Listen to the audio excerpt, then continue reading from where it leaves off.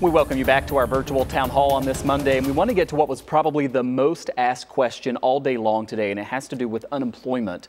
We got these messages and this voicemail right after the governor's briefing.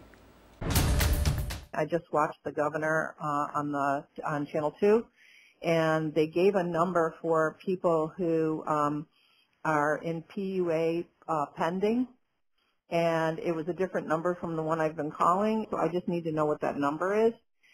Uh, if you can help me out with that, truly appreciate you for what you're up to. Thank you.